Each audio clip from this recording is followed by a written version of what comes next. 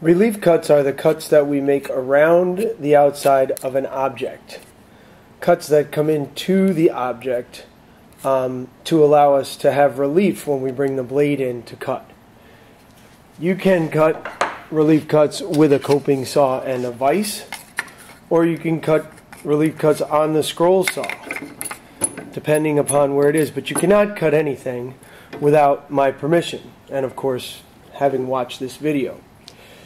if I'm going to cut it in the vise with a coping saw, I'm going to place the relief cut straight up and down. Using the coping saw, you line it up and you just give it a pull. Gently. And then once you get it started, you use the, that blade back and forth, the whole length of the blade. Not really pushing down at all, just smoothly, gently cutting till you get to the object, and then back and forth as you come out. Do that one more time. Be careful of your chips here.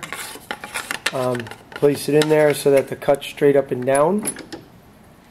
And get the blade in there and just draw the blade backwards towards you, nice and gentle.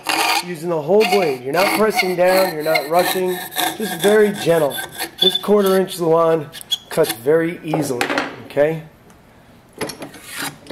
And you would go through and you would cut them all. And then when you cut the object out, now when I cut the object out, whether I'm bringing the blade down here with a scroll saw or coping saw, this piece pops off.